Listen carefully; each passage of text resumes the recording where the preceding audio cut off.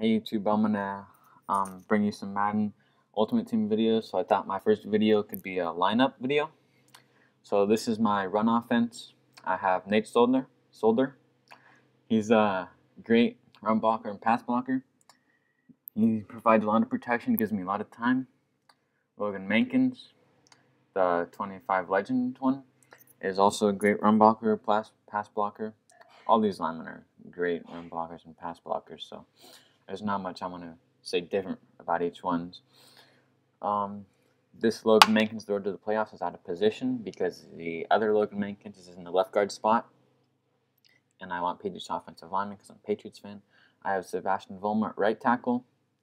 Same thing as the other one. Great run blocker, pass blocker. I have the Mike Tolbert base elite card. I haven't upgraded my fullback position since the beginning, and Mike Tolbert's doing just fine. Jamaal Charles, He's a very fast, speedy back.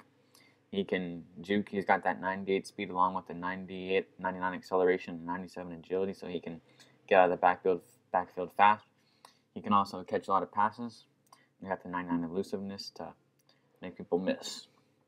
And I, uh, Randy Moss, my favorite receiver in real life and in Madden. He's um he's just Randy Moss. He's just great. Takes the top off the defense with that 99 speed 100 spectacular catch, 97 catch, 98 release.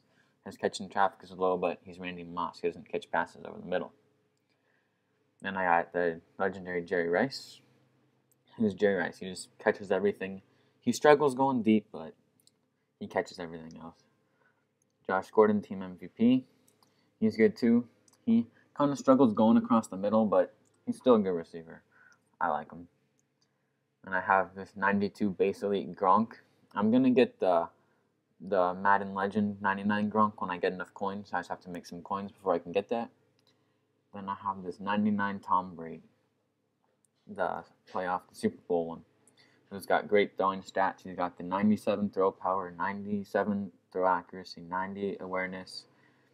He's just all around a great pocket passer. And with that 61 speed, he can also scramble a little bit. He can run a little bit, but not much. And my defensive front, Mario Williams, great rusher off the edge. Albert Haynesworth clogs up the middle, along with um, Vince Wilfork, who helps him do that, so people don't run up the middle on me. Then we got Deacon Jones coming off the other edge, and he's Deacon Jones. He just gets sacks, gets block shins.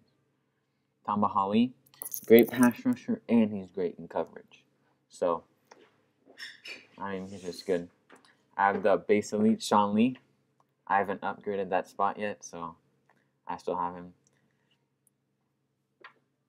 I user this Captain Kiko Alonso.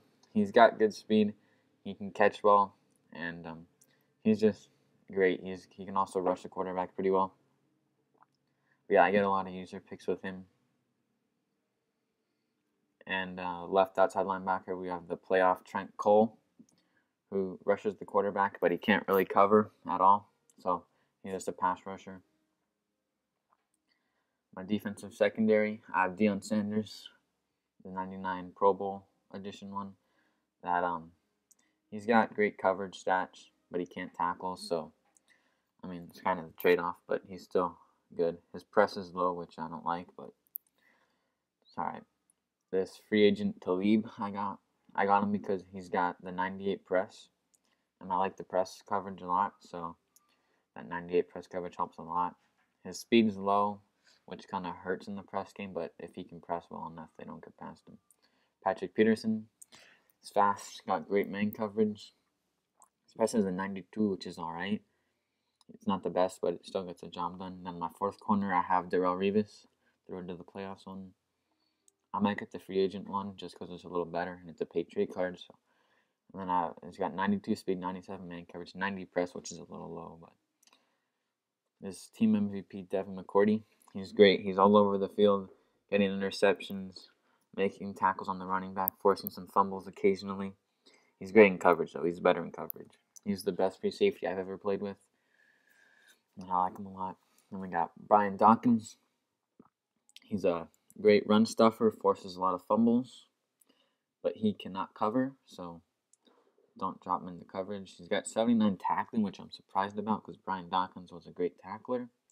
but I mean, Madden's ratings aren't always the best. Now we got Adam Vinatieri's the kicker, DeSean Jackson returning kickoffs and punts, DeSean, and then Adam Vinatieri's the kickoff specialist, Marquette King's the punter, long snapper Nate Solder, third running back Jamaal Charles. We got the New England coach, got Gillette Stadium. We have a bunch of throwbacks we use for our home uniforms, but I'm just using the Patriots one right now because I'm a Patriots fan, and I just got that one, so I'm gonna use it for all I get bored of it.